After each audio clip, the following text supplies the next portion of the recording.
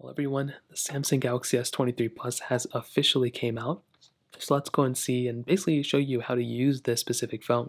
Now, there's nothing super crazy. I just kind of, you know, booted this thing up. So I just went through the initial setup and everything.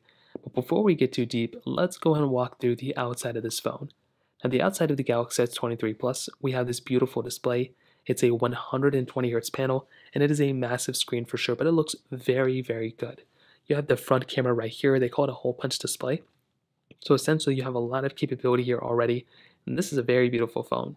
Now on the left side you don't really have anything, it's just kind of a, almost like a flat side. At the top you have a microphone hole, which is great. On the right side you don't really have anything besides these buttons right here. So you have the volume up button, volume down button, and the power button here as well, which is really cool. So we're already getting some really cool stuff on the left side, on the right side. You can turn on your phone, restart your phone here. You can take screenshots by holding these two buttons. So really cool stuff. And at the very bottom, this is another very important area. So basically have our USB Type-C charging port right here, which is how you charge your phone, but you also basically have your SIM card eject option right here. So at the mic at the hole at the very end right here, that is where essentially you can output your, you know, SIM card. So if you want to, you can grab your SIM card eject tool, which is in the box. It's just like a little like, you know, metal thing that looks like this. You can input that on the hole that is the furthest to the right. If your phone is like this, basically it's the phone closest to the corner. It's the hole closest to the corner. And all you want to do is you want to go ahead and basically input that SIM card eject tool right there. You can go and slide it in. It takes a little bit, tiny bit of force. You don't have to go super crazy. And this little thing will come out and you can go and input your nano SIM card right here. And that's basically it. Once it's placed in here, all you have to do is go and slide this back in just like so. Click it into place and that is it you are pretty much good to go here. And that's pretty much all you're going to have to do in this specific example. So on the back side, this is where things start getting a little bit more interesting. We have a triple camera setup, so it's a really good camera. Everything I've done with this camera so far has been really good. These cameras will last you a very long amount of time as well. You have your flash, you have a glass back, so just be a little careful dropping this thing because if you drop it on the back, it can crack. You have a wireless charging, reverse wireless charging. This phone does have IP certification, so it's a little bit water resistant, but I don't I wouldn't dip it in water if you know I wouldn't feel comfortable doing that. But that kind of is it. You know, that's kind of all you have going with on the back of this specific phone and pretty much on the outside. So in terms of that, that kind of covers it up there. Now, when it comes down to the lock screen, as soon as you power up your phone, I did go through the initial setup already. So the boring stuff in the beginning where it just asks you for your name and whatever, already went through that. So as soon as you boot up the phone, this is what it looks like. Now in the lock screen, you have a few things, which are kind of consistent throughout. At the very top, we have our status bar. This is going to be the same thing basically throughout your whole entire phone. So it's always going to be there. If you're in full screen application, you can swipe down from the top and see it. And you know, that's kind of that. Now with the time, we have our time right here, and we have the date. So essentially, if you have the date and time right here, all you have to do is go and look at it, and you can see what the time and date is. Now here are where usually you would have notifications, but if you tap on the display right here, you can see some notifications that come up. So these are always going to be there for the most part. So you can always click here to see more notifications. It's a pretty cool thing. At the very bottom, you have your phone icon here and your camera icon here, and they can actually be changed if you want to. But also, if you hold down on the lock screen, you can actually customize this lock screen now. So I won't go into too much detail here. I've made several videos on my second channel exactly how to do that. But if you're interested, check those videos out. It's a very cool thing that we have now. Now, if you want to come to the home screen, you can swipe up. And now we're basically in the you know fun part of this video. So at the very top, like I said, the status bar stays the same, but this is our home screen. So here is where we can place applications and widgets and basically get a quick idea what's going on on our phone. If you want to move around some widgets or whatever, you can go and hold down a widget like this. You can bring it up, you can bring it down. You can pretty much do whatever you want to. You can also hold down a widget and you can also just remove it. So if you didn't like it, you can just click remove and that widget will then be removed.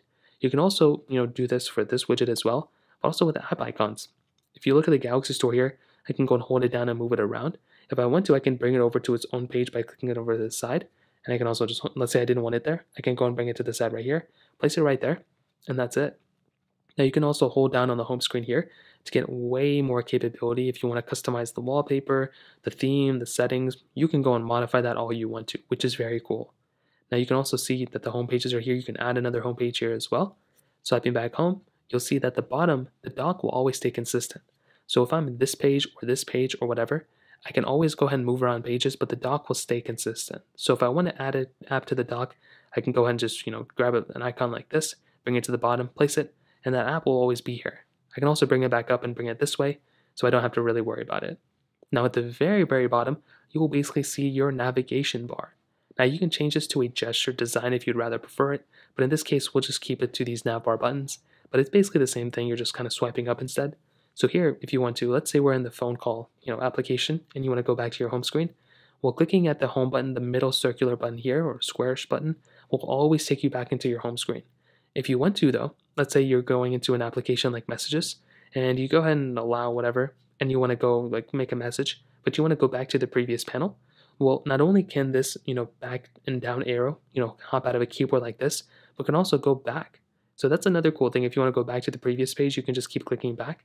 And that's something that's really cool. Same thing if you're in camera, I think, and if you like take a photo and you open it up here and you want to go back to the photos, you can just click that back button and it'll take you back here. Now, another big thing is, well, let's say you want to go back into the previous application you were just using, or you want to see the previous applications you were using in general. What you can do there is you can click this three line button. So doing that will take you right into this page. So you can see all the applications that you've used or you've been using. So everything stays consistent except for a few things. The recently used apps are pretty much apparent. The home bar is the same and the status bar is the same. However, this middle bar will pretty much show you the applications that you've been using before. So now if I want to, I can go back to this application right here and see the application I was using before. I can also go through and choose like this application and see what's going on with this one. I could just keep going and this is a pretty cool thing that you can do here. So if you want to, you don't have to do this, but I recommend doing it sometimes. You can also close out of all the applications you were just using. So that's another cool thing that you have the ability of doing, and you don't have to do it, but like I mentioned, you you can try doing it if you want to, and it's another really cool thing you have the ability of doing. Now you might be wondering, well, how do you actually see all the other applications that you have on your phone? Well, this is a really easy thing. All you want to do is you want to kind of drag to the top your specific home screen. So I'll do one more time. Is he grabbing your little home screen like this and bringing it to the top? And that will basically bring you into this specific panel. Now, these are all of the applications that you have on your phone. So you don't really have to do anything super crazy or you know super you know breathtaking to get into this panel. You just have to swipe up, and then these are all the apps you're using. Now, if you want to, what you can also do is you can click on the search bar up here, and you can search for applications. Let's say you want to search for an app that you want to see. Well, you can just type in that application, let's say settings. You can go and open up the settings application by clicking there. And it's a really cool thing you can do. I mean, a lot of phones have that type of capability. If you're ever lost, you can search for applications here even Google. There's so many things you have here that you can do. So just, you know, the sky's the limit. You can kind of mess around with it however you want to. And that is it, you know, coming back home. There's some stock applications that you probably should know of that you may already know about. You can go home or you can click on phone to, you know, call people. You can do messages to, you know, send messages to people. You can go to Google Chrome. This is your internet browser. So you can click here and you can go to your internet browser here, which is great. Camera, you will take photos. Your Google Play Store is another important application. This is an app where you can download all your applications from. So personally, what I do every time I go into the Google Play Store, I will go into the applications that I've already, you know, downloaded on my other phone. So I'll click here, I will click on Manage Apps and Devices. I'll click Manage. If you're coming from a previous phone, then that's great. But if you're not coming from a previous phone, you can always, you know, skip this. But I tend to just download the same applications each time. So what I would do is I, you know, go down here and pretty much just download the same exact applications that I've been downloading. And that's pretty much all I do. So once I'm done here, I will just click download at the very top. And that's all you're really going to have to do here. Now, if you want to, you can skip whatever you want to do, but essentially this is my go-to thing. Every time that I come here, I almost download the same exact applications, but you don't really have to do it if you don't want to. Now, once I accept it, like I said before, you can go back home by clicking the home button, and that's that. Now, the last thing I want to go and demonstrate is actually with the settings panel. So like I mentioned before, you have the ability of going into settings. Now, the settings are kind of self-explanatory. I don't really think you, we really need to break down these things like super crazy, but these are some of the most important things I'd recommend doing. So one, I would recommend going through your settings panel and trying to understand everything within this panel. Now, you don't have to go through and like, you know, study every single thing. If you want, if you're ever searching for a setting, if you're ever searching for a setting, you can just click on the search bar up here and you can just search for a setting right here. And it's very, very basic to do. So if you ever want to search up like Bluetooth is an example I've been using, you can just type in Bluetooth like this, and you can just search up Bluetooth and you'll find 10 applications are 10 things that are going to help you there. Now going back, these specific settings are pretty much the same connections, connected devices. Everyone kind of knows what's going on there. Modes and routine, sounds and vibration, notifications, pretty much the same thing. And like I said, I would recommend going through here. You don't have to mess with these settings, but I would recommend just going through and looking at them because that will help you understand these applications a little bit further. But the biggest thing I'd recommend doing is scrolling all the way down clicking on software up, um, software update, going and down, clicking on download and install, and downloading and installing the latest update.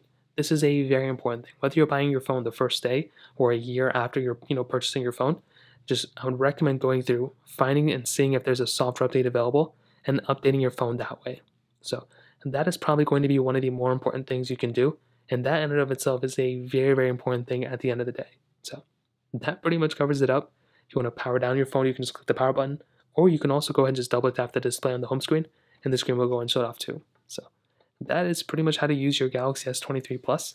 If you have any other thoughts or questions, let me know in the comment section below. Hit the like button, that would mean so much, but definitely hit that subscribe button. More importantly than everything else, I love every single one of you guys. Hopefully I'll catch you guys in the next video. Peace out, so then.